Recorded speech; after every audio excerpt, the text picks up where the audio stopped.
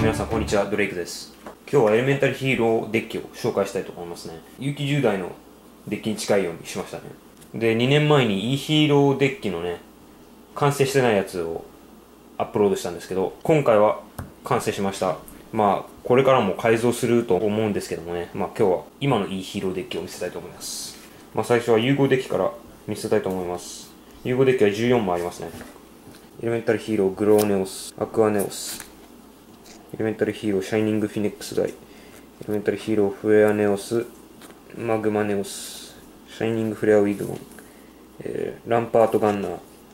ガイアフレイムウィングマンフェニックスガイザ・シャイニングテンペスターアブソルートゼログレートトルネード続いてはデッキを見せたいと思います。ネオスペーシャングランモールネオスペーシャンエアハミングバードフレンドッグエレメンタルヒーロースパークマンエレメンタルヒーローフラッシュエレメンタルヒーローバーストレディスパークマン、えー、ネクロダークマンクレイマンバーストレディエッジマンネオスフェザーマンオーシャン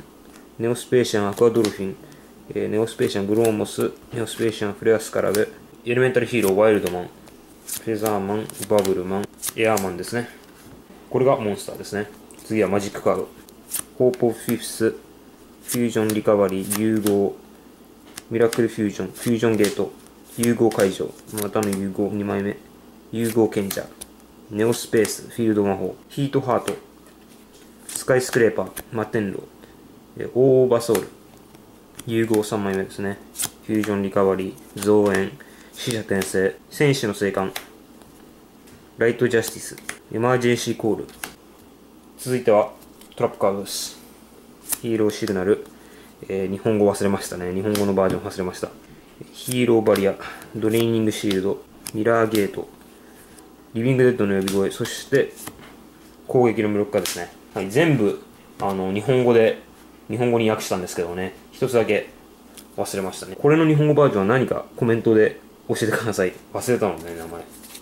まあ、これがね、エレメンタルヒーローデッキですね。まあさっき言ったように、これからもね、改造していくので、